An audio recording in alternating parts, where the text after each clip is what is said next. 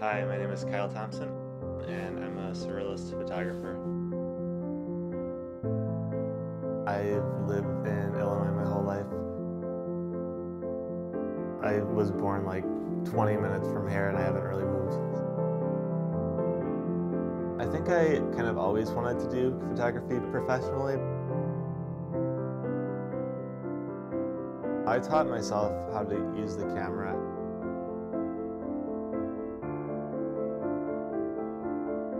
I was like gonna draw things out if I had kind of a vague idea. Most of my photos don't cost money. I just use what I already have.